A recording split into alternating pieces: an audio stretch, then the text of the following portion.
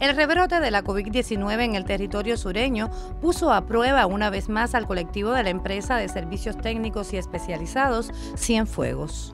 A raíz del comienzo de la COVID, nosotros teníamos la hotelera 19, que es una hotelera que tiene 90 habitaciones, y nos solicitaron al gobierno que, por favor, que fuera un centro de aislamiento. Desde el 6 de febrero nos dieron la encomienda de ahí están ingresados los cubanos residentes en Cuba que vienen del exterior y que están ahí en espera que pase su, su pequeña cuarentena de 5 o 7 días.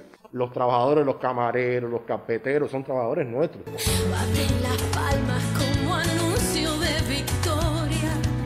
Venga ese sueño por millones compartidos.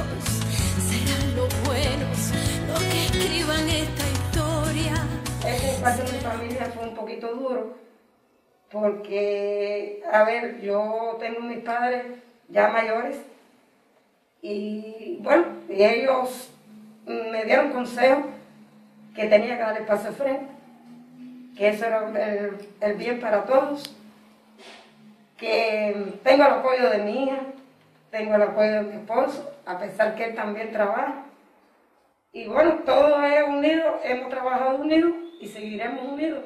Desde un primer momento que el gobierno del país y de la provincia nos hizo un llamado, pues enseguida nos sumamos a la necesidad que había en esos momentos. Son muchos sueños retenidos en la espera y muchas manos van haciendo la tarea. La noche es larga y nos retiene la esperanza no se queda prisionera. La palma anuncio de victoria.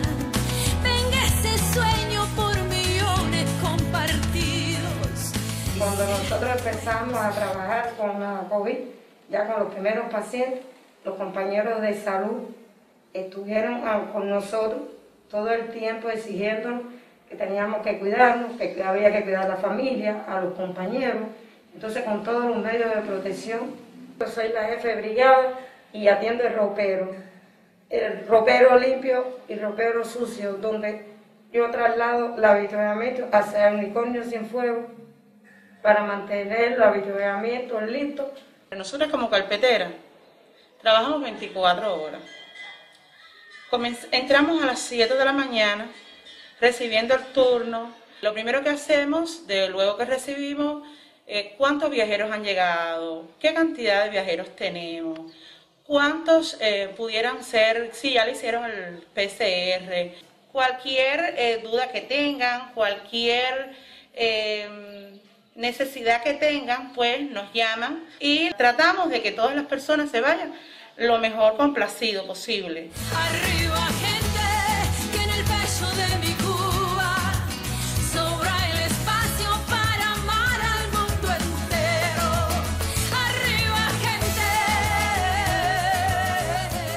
caso, todos los viajeros residentes en Cuba que van directo del aeropuerto con todo su equipaje para este centro de aislamiento, que se le garantiza transportación, alimentación y atención médica, que es totalmente gratuita, que al quinto día se le hace su PCR.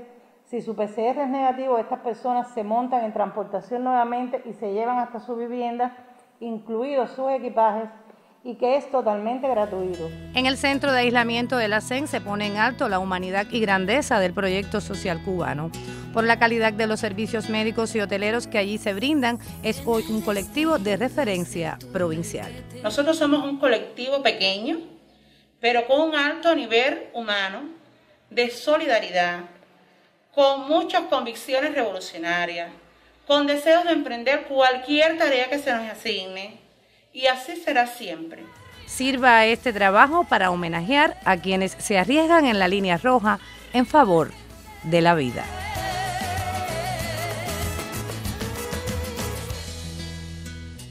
Damaris Leiva Feijó, Sistema Informativo de la Televisión Cubana.